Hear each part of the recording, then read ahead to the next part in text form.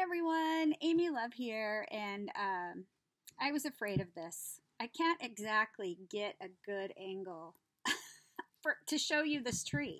It's just um, awkward video problems. But anyway, for the last several years, I I do a tree. So this is this year's tree.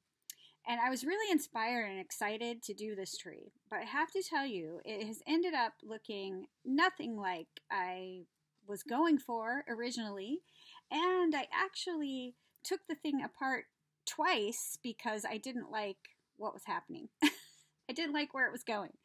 But now it has ended up just beautiful. It's beautiful. So even though it was a long road to get there, I love, love, love how it turned out. So I started with a, a paper mache cone that I got at Hobby Lobby, and it was $1.49, and I got it for half off. And the thing at to do at Hobby Lobby when you're looking for the cone trees, they have in their Christmas craft section cone, uh, paper mache trees that have bottoms on them, you know, little bottoms, and they are slightly more expensive than if you go over to the paper mache aisle and just get uh, the cone. And I prefer the cone because without having the bottom, it actually stands better, in my opinion. So there's just your little tip. Go over to the paper mache and get the cone when it's half off. So I actually, uh, I gessoed the cone, but it was absolutely not necessary to do so because I covered it completely. But I always, I always gesso the things because I'm never sure if I'm going to cover it completely, even though I almost 99% of the time do. I don't know. So if you know you're going to cover it, save yourself the step. Then I used, which I don't even know if any of that is showing anymore, but I covered the whole thing with a, with a snippet roll that I made in neutral colors. And um, it was a really pretty snippet roll, but like you cannot hardly see that at all so I think that you could just cover it with a piece of muslin or fabric and be fine and save your snippet roll base for something where you're going to see it because it's so pretty and you know and a lot of work goes into snippet rolls.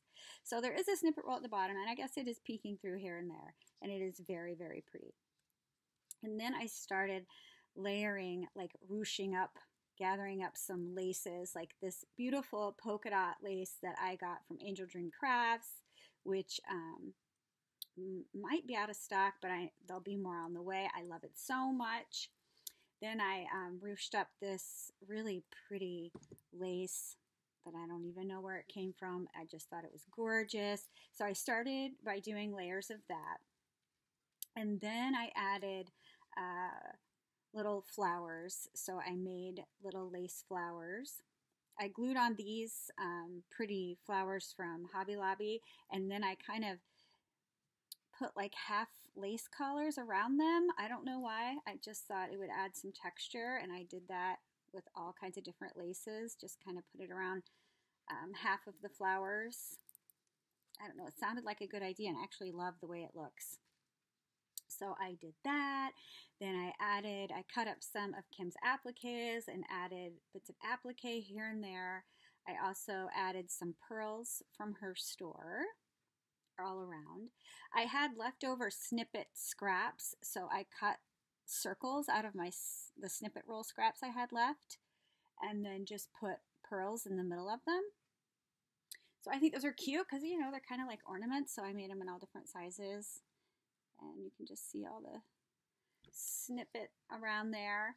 And then I had um, this little dimensional trim that has the flower and dangles off of it. So I added those here and there around also. Uh, more applique. I added uh, bling to the middle of my flowers, and you can get beautiful bling over Angel Dream Crafts also. So it's just, it was fun. It's got so many bits uh, these little beautiful little ornaments that have the rondelle, they're so cute. You see that? That's so cute. These are from Angel Dream Crafts. So I sewed them on to the tree and then added little bows on the top everywhere um, that I added one. They're just so super cute. super cute on here. And there's another one of the snippets for my snippet roll, a snippet roll ornament, I guess you could call it. And then at the top, I put some appliques with dangles um, to the top of the tree. Then I created this flower and I put that um, over the dangly bits. Just so pretty. I love the dangly bits. And then these, these snowflakes, I adore these snowflakes. I love them. And these you can get at Angel Dream Crafts. So be sure you go over and get some before they're gone. So that is this year's tree. I love it. You know, I didn't do a tutorial. I have many uh, altered Christmas tree tutorials on my channel. I did not do a tutorial for this because I took it apart so many times and I couldn't decide what I was doing. And it's just kind of like a snippet tree. I just put bits on here and there, and this is how it turned out. I think it just turned out beautifully. But I mean, I almost gave up a couple times. So I was like, nah, this is not working out for me. so I'm glad I stuck with it because I absolutely love it, even though there's no good way to show this tree. There just isn't. I love it. I think it's so super super pretty so i would love to uh, for you to leave me a comment and let me know what you think and please leave me a thumbs up and i will post pictures of this tree where you can actually see the tree. I'll put them on my Instagram and in my Facebook group um, if you want a better, you know, some photos because I just can't.